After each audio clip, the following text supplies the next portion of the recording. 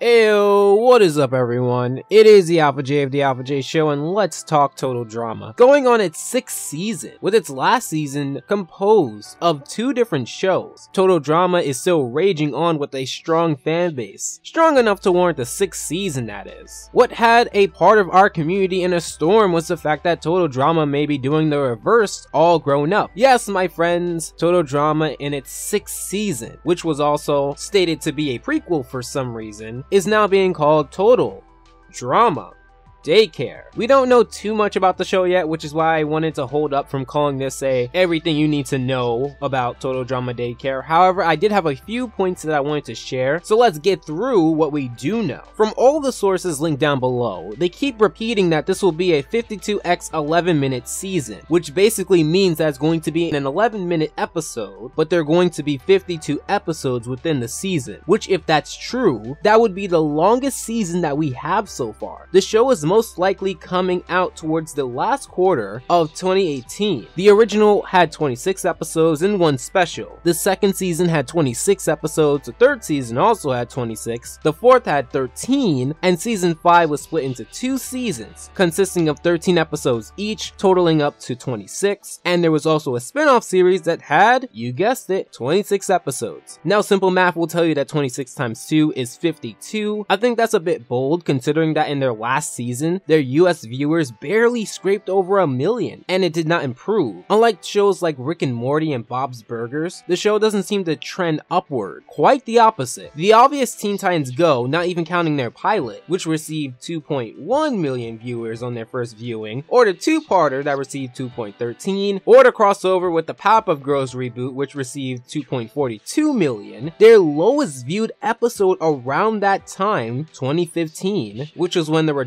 Race came out, the sort of infamous cape that is, which got 1.12 million viewers on first airing, which is still higher or equal to about 9 episodes of the latest season of Total Drama to air. In fact, their highest pilot only got 1.6 million views. And in the second part of their pilot, they dropped 200,000 people. So my point is that more people watch Teen Titans Go than Total Drama. However, many people would counter that by saying that Teen Titans Go airs all the time, so it's probably best not to compare that show with Total Drama. Fair enough, how about regular show? With the numbers I'm putting on the screen, you can see and compare if you'd like, they appear to be around the same. Steven Universe crushed Total Drama in terms of numbers all around. In fact, around this time, Steven Universe was doing really great. Can't say the same about their latest season though. Uncle Grandpa, although their numbers were all over the place and very inconsistent, I would say that Uncle Grandpa did just as good. How about Clarence? What about Gumball? What happened to Adventure Time. They did not air any episodes within the two month period of the spinoff. Yes, two months. They released 26 episodes within two months. All of this is to say that Total Drama at this time was going just okay. It did better than a couple of shows, and some shows weren't necessarily on, so one could say that Total Drama was more like a placeholder at the time, but they didn't do too bad when you don't compare the show to the Giants. However, like I said before, note that Total Drama and when I say Total Drama, I mean the Ridonculous Race, the latest spin-off of Total Drama, at least at the time of recording this, was airing new episodes multiple times a week, so their viewership might have been that way because viewers were constantly being reminded and rewarded with new episodes multiple times a week. I believe I would watch more, given I wouldn't burn out, and a show like Total Drama, with its elimination format, seems unlikely to burn me out. I originally went into research thinking that Total Drama was this washed up show that no one really watches and that Cartoon Network slash Teletoon is trying to cash in on what worked years ago. But turns out, and stand back for this one because it may provoke a little bit of backlash, Total Drama is the Ben 10 of Teletoon. I remember when I did my research on Ben 10, I learned that Ben 10 made Cartoon Network millions, and the franchise runs deeper than pretty much any other show airing at the point of its latest reboot. I mean, I wouldn't be surprised if Ben 10 became what Scooby-Doo The Looney Tunes, and Tom and Jerry is in terms of its number of spin-offs and specials. Not in terms of legacy, because come on. But I do respect that Total Drama, after a decade, still has a pretty dedicated fan base. Now let's read the synopsis for this new show, as it's quoted here. Total Drama Daycare reintroduces favorite cast members like the lovable Owen and uptight Courtney, but ages them down from teenagers to toddlers. While the cast may be pint-sized, their teen personalities are fully formed with the voices we know and love, and each episode is packed with dream sequences, cutaways, visual jokes, confessionals, and flashbacks. So whether it's using an Uber, did they really say Uber? Uber to have a Ferris Bueller style day off or scaring away a new teacher, our cast is ready to scale the walls, hack the school computer, and do whatever it takes because make no mistake, these toddlers are here to play. Did they really put that in caps? Firstly, now they're in daycare. Are they still going to do the elimination format? Are they are they gonna eliminate babies? Toddlers? Are they gonna send toddlers on a boat back to where they came from? Also with the romance of the franchise, because Total Drama had its backbone in this core audience that loved to identify with the characters and basically bring the characters to life. Are they going to nix a lot of the drama or make it less PG-13? Because I don't think we want to see babies the way that we saw in the original Total Drama. And lastly, according to this photo here, Chef doesn't really seem to look like he aged back at all. I hope they have something really interesting in mind because like I said before, they have 52 episodes. What would I do personally if I had control of the show? Well, with that many episodes, I would probably start off fresh considering that this is the prequel and build on why certain characters become who they are after considering this comes before Total Drama, I believe. Why is Duncan so angry and against everything? Why did Justin become so vapid and in love with himself? Why does each character become who they are today? This would be interesting because it can lead back into other seasons and give extra context and deeper meaning, increasing the replay value. Now, why do many people seem to be apprehensive towards the show? Now, from what I've surveyed and observed, it seems to be under three main umbrellas. The first umbrella is that this is another Cartoon Network reboot, even though it isn't traditionally a reboot, but since it may or may not be taking its original history, and when you look at the definition of a prequel, it doesn't really fit, but I get what people mean by that. It's another Cartoon Network repackaging of an established show, and people are very hostile towards that. You have the obvious three reboots that don't really seem to do very well on the internet. But since this is Teletoons, we shouldn't have that mindset. You have another show that was repackaged for today, and that went well. That was Samurai Jack. So me personally, I can't support that claim. I think what's good should be put first, instead of worrying if it's going to be a reboot or not. The second umbrella is that this is more total drama. Now this point, I do stand by and can see, with the sixth season of Total Drama, that same slot could be used to show more original content. However, from a network's perspective, they see that Total Drama still works, and maybe this can change and bridge new viewers into a revival of the entire franchise, at least from their perspective. Now, they had about six chances, but let's sweep that under the rug. I've also seen a lot of people say it won't be the same, and would you really want the same? As there are a lot of seasons beyond the first one in which they have the original cast, and I don't think a lot of people really like them. Maybe they aren't interested, maybe it's the writing, but I don't think it being original should be something that people should take into consideration. Since they are basing it in a daycare, I feel like with such a bold move, we should still have an open mind until we see something like a trailer, for instance, or a sneak peek into the first episode. The third umbrella is pretty much that, the whole daycare aspect. And like I said, I get that. You have a show that was filled with a lot of flirty humor and a large appeal to teenagers, and you're basically flipping that into toddlers? Well, again, this wouldn't really prove if it's good or not, it just proves that it's radically different, and since Total Drama aired back in 2007, that's been a decade of total drama, and the people who first watched may have grown up and possibly moved on to live action versions of what Total Drama models itself after. And the crew maybe wants to appeal to this newer generation growing up, but it wants to use the original characters to bridge both generations into watching. But that's just speculation. There was also a video explaining pretty much what I just said, just a lot more concise, but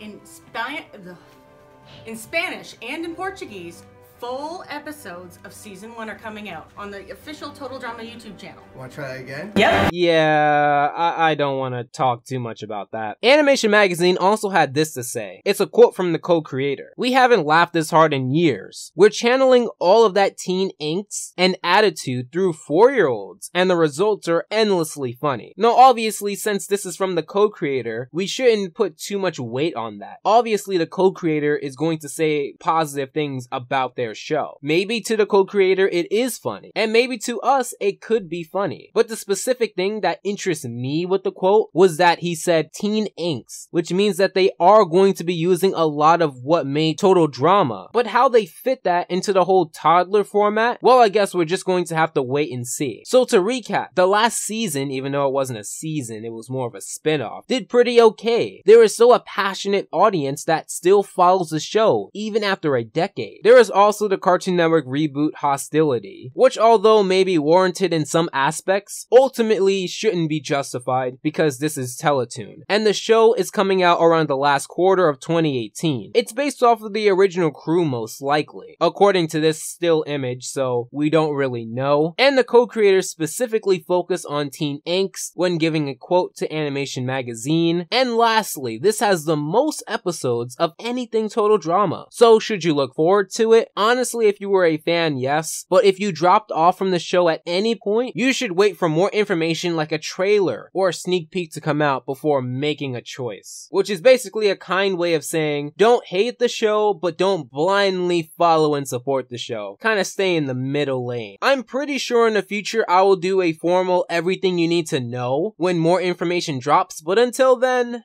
eh. I was thinking about in the meantime doing sort of a review of the entire Total Drama Island show, the first season. I'm not sure if I want to do a weekly episodic review over the course of about 26 weeks, which would be half of the year, funny enough, or do one big hour, or maybe two hours of a giant season review of the first season. If I see enough interest in this video, then I will consider it because I do want to give story-based or heavy continuity shows like Total Drama immersion they deserve when reviewing them. And although the latter seems easier and less stressful, it could be something that people, or maybe myself, could get burned out from, considering that I would have to do that over the course of 26 weeks. Whereas with a long video, it could be something that people could be interested in, but they could forget and it could get lost in my video library. Both sides have their pros and cons, and I generally read the comment section, read what you guys have to say, before making large decisions like that because ultimately I am making my content for you guys. So if you guys want it, then you can sure bet that I'll get around to it sometime. But until then, let me know what you think in the comments down below, follow me at the Alpha Jay Show, and send some requests in the request video. If you really like this video, I highly suggest watching my Snot Rocket review for more speculative content like this. Make sure to subscribe and feel free to consider my Patreon as always.